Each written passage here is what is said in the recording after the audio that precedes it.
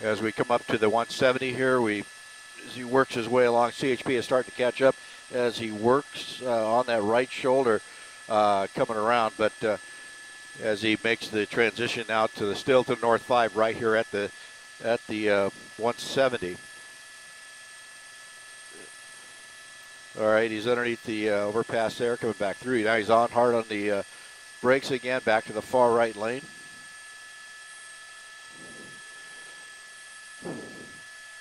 Oh, I got him here. Looks like he's continuing on. So I'm kind of watching out the window, watching out the window here as we zip along here. There's no units behind it, so it's real difficult for us to see him uh, out the window to figure out exactly which one it is. And the air unit has turned the night sun off, so it's hard for me to see which one it is. So we're going to continue on here. Now, okay, coming up to uh, Osborne at 90 miles an hour. Over into the carpool lane. I got him. Hey, TV7 or somebody going to take up the flight for us on this. Be a lot easier. As we continue now uh, north here on the 5 freeway coming up to Telfair. Uh, like I said, this is a burglary suspect out of Burbank PD. Burbank PD units were uh, following it. I believe they were undercover units. Uh, air unit got overhead and watched as the subject uh, continued south on the 5 freeway. Got off at Hyperion made the turn, but at the time started throwing objects out of the car. So right now, uh, and those the uh, objects uh, were recovered. They were cash and jewelry from the uh, burglary. So these burglary suspects don't know how many people are in the car, uh, but he is really flying along here still at just about 90 miles an hour. And coming up to the 118, holding the right lane. Right, got him as we work our way northbound here, coming up to the 118. He's going to hold the northbound five. And CHP is uh, trying to catch up here as we go underneath the 118. And then uh, still holding that number one lane, IHOV lane. And what are we clocking at now? 80, 105 is the speed we're clocking on uh, our map down to the uh, number two lane. Continuing on to zip it through traffic or slower traffic ahead, a little bit heavier as he goes around. And there's heavy traffic up ahead at Paxton. So we're going to see uh, what happens when he gets there. But it's uh, uh, he's really cooking along here. But he's going to come up some real heavy traffic here in about another mile, mile and a half. Now on the brakes hard here. And we're hearing reported four suspects inside this car. So four burglary suspects wanted by Burbank PD. And we're at uh, at least 90 miles an hour here over to number four lane. Uh, CHP uh, looking for the units down below. I don't see any units below. And uh, so they're still trying to catch up as we continue it on here uh, over Tet. And uh, holding up here in the number one lane. It's coming up on slower traffic.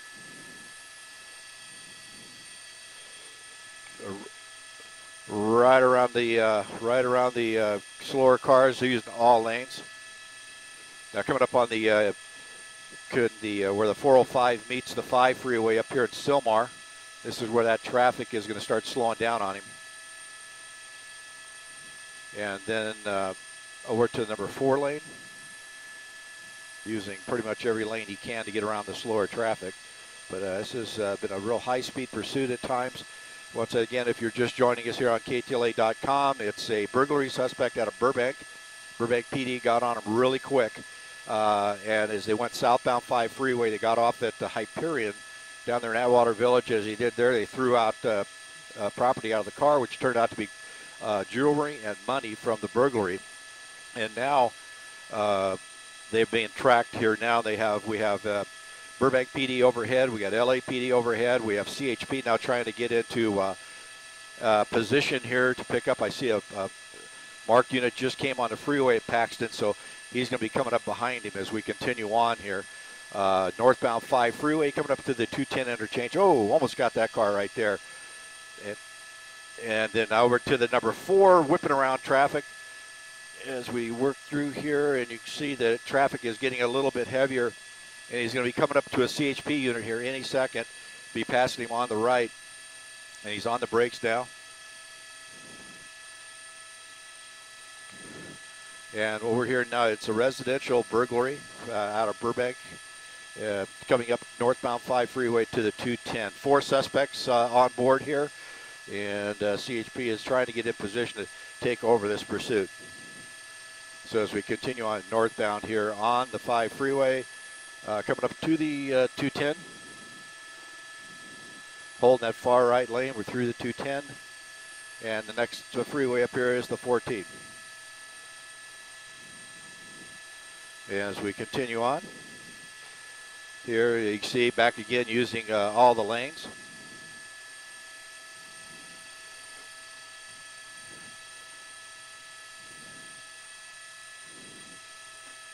As we committed on northbound 5. Yeah, 5 is up at 3,000. And uh, as we would continue on here. Got to make the bend here. Let's see if he stays on the coming to Newhall Pass. See if he continues northbound 5 here, but uh, air units are right below. You're going to see the air unit going right through our shot here. If we widen out just a little bit, you'll see that air unit from Burbank PD coming into our shot.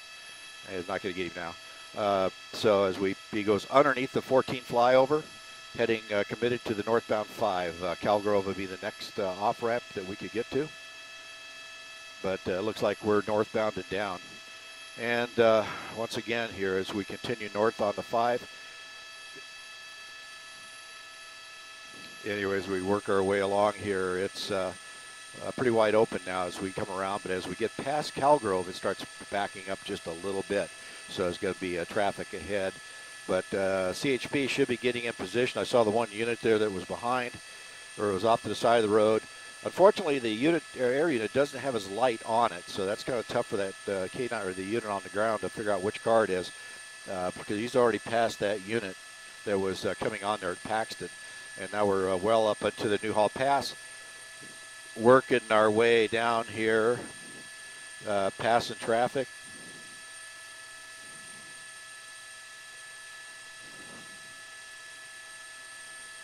Oh, God, please anyways, we continue on here. Uh, northbound 5 freeway approaching Calgrove.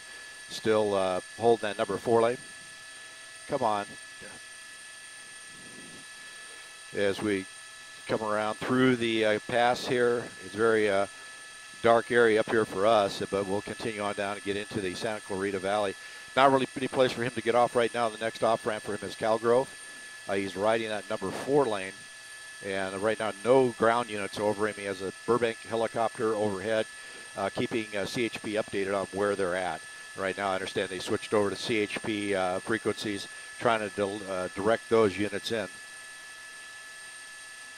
Uh, coming up to Calgrove, you see him right there on the uh, right shoulder.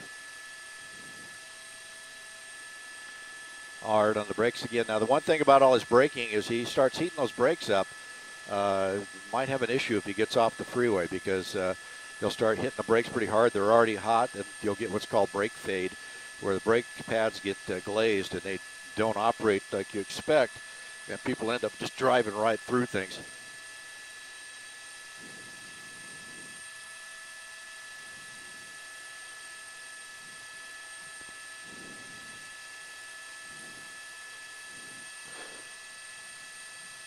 Five's on the west side as well at 33. Okay, around these uh, big rigs here as he continues north. Anyways, we continue down here, uh, coming towards Calgrove. Uh, coming up on the off ramp here in about another mile. See if he dives off the freeway. He's over the right hand lane, so he's got plenty of chances. Using the right shoulder, actually. Uh, he's he's outside the fog line. You see that white line. Then it cuts off. That's the uh, right shoulder here as he's passing everybody on the right, coming up the real slow traffic, whipping around that, coming up to the Calgrove off ramp. It looks like he's past the call, right past the Gore Point, continuing north on the 5 freeway here past Calgrove. And let's see what kind of speed we're at right now. 96 miles an hour that I'm seeing uh, on the gauge. And back on the brakes because, you know, 96 miles an hour, everybody else is doing 85. It's going to be uh, a little tough for him to get through some of these. But the traffic is pretty uh, open uh, going north here on the 5 freeway as we uh, approach. Uh, I believe the next next next one here, I believe, is going to be.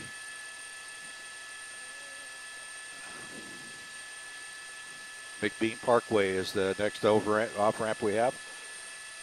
Going up on McBean.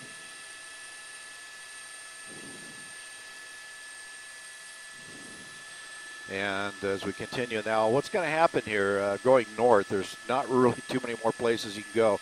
He stays on the freeway, it'll take him up up in the grapevine, using that right shoulder to get around that uh, big rig there. Very dangerous because you never know what's going to be on that right shoulder to be a stalled car there as he came around that uh, big rig, a blind turn there. As now as we're approaching uh, Magic Mountain here, and and coming up on Valencia will be the next off.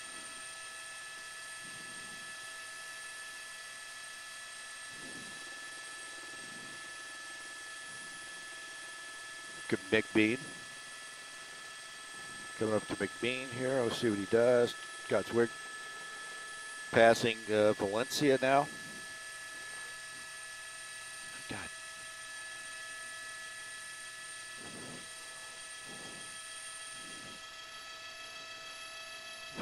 Anyway, just a lot of chatter on the uh, aircraft radio. Anyways, we continue on here, coming up to Magic Park, Magic Mountain Parkway. And as I was going to say, as we continue north on the uh, 5 freeway, uh, we get up here past the 126 and start climbing that grapevine. Uh, if we start climbing that hill up into the uh, grapevine, uh, we're not going to be able to pass the uh, Lake Hughes Road area because it just gets too dark up there for us to fly. Uh, so right now it's uh, a matter of, oh, looks like he took a gore point here. Off at Magic Mountain. Off at Magic Mountain, it looks like. Uh, oh, through the intersection, almost crashed right there, making the turn underneath the 5 freeway. Five's coming around. And he's back around the corner here, uh, making his turn up Magic Mountain Parkway. And this is uh, going to picking up the old road here. And here he goes. He's going to go underneath us. And so as we continue here northbound on the old road, and so here we come around here. I'm going to like fly by us here, and I'm going to come around northbound old road.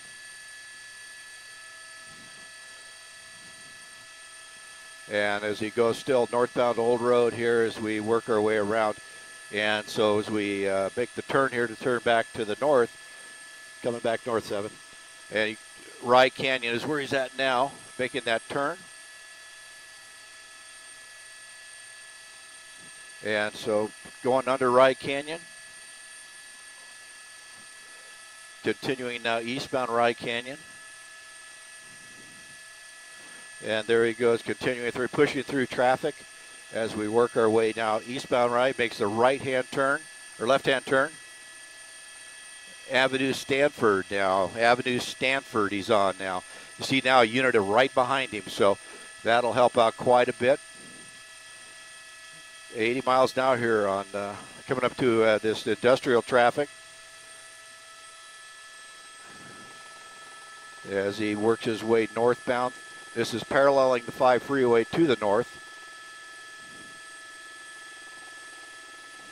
Yeah. I can't get these guys to shut up long enough to give out positions. Anyways, we continue on now uh, here northbound on Stanford. Coming up to uh, the 126. Seven and right bottom behind you. All right, and making that bend.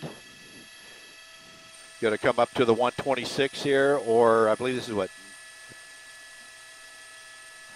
Yeah, yeah, and they make the oh through the intersection here on a red, and blowing through traffic and have that cross traffic there now on the 126 westbound. 126 westbound.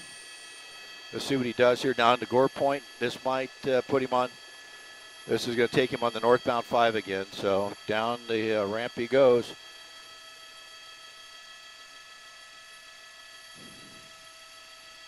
Uh, back on the northbound five. So this will take us up into the Castaic area. And uh, like I said, any further north of Lake Hughes Road is going to be a real problem for uh, us. But luckily, uh, Sheriff's Air 29 showed up uh, to help out with the Burbank Air Unit. Now, Sheriff's 29 is capable of flying. Um, capable of flying what they call NVGs, and then he's he'll be able to and uh, so as he continues northbound on the 5 freeway, they'll be able to fly the NVGs uh, up into the hills here above uh, Castaic as he continues north here on the 5 freeway. And he's way up the hill here as we continue on.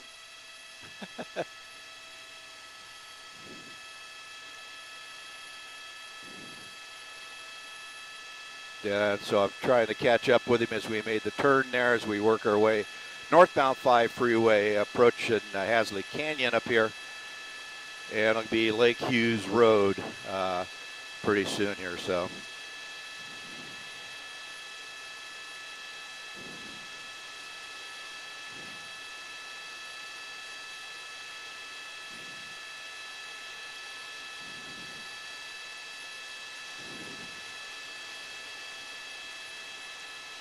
as we continue northbound 5 freeway here, coming up on Castaic. We'll see what he does here, because once he gets past the lights here, we're going to have to come uh, to a stop, and we'll just watch him fly off into the uh, in the darkness. Flies on the west, 27.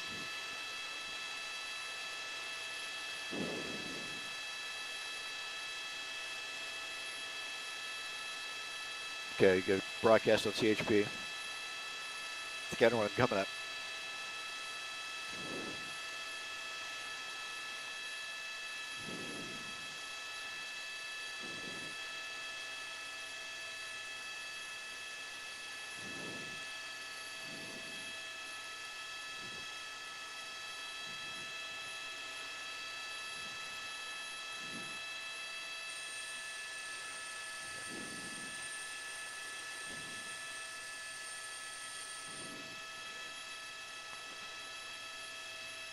Five's at 32 climbing and coming to a stop. Seven coming to a stop.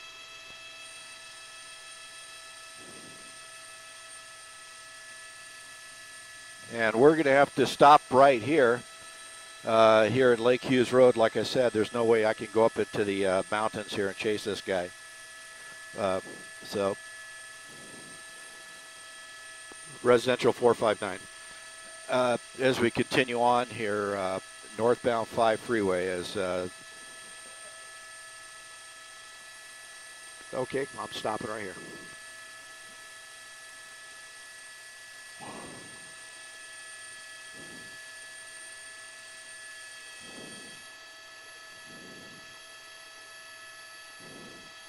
All right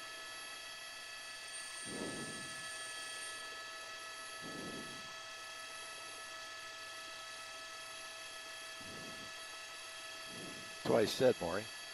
And we're stopped here watching him head up the road, and he'll get to the CHP uh, crossover up there at CHP Road. And uh, CHP is on him now with four units. And there you go, as uh, now the LA County helicopter is on him right now. And they have their night vision goggles on, so they're able to fly up in the mountains at night. And unfortunately, we can't. And so we're going to hold back here over Lake Hughes Road in the 5 and watch them as they continue north on the 5 freeway. Once again, burglary suspects out of Burbank. Uh, they were throwing property out of the car. They recovered that. It was uh, jewelry and money. Four people in that car wanted for residential burglary.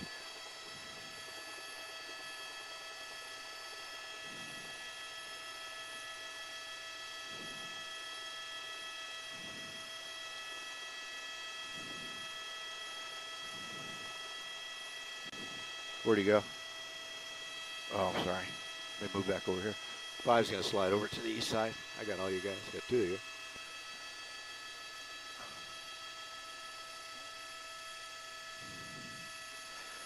And so pretty much he's going to be uh, out of sight, out of mind here in a minute as he continues north onto five. So thank you for watching here on KTLA.com. Uh, pursuit of uh, burglary suspects out of Burbank. We'll have more tonight on this. on the KTLA News at 10. All right, there you are. I got you.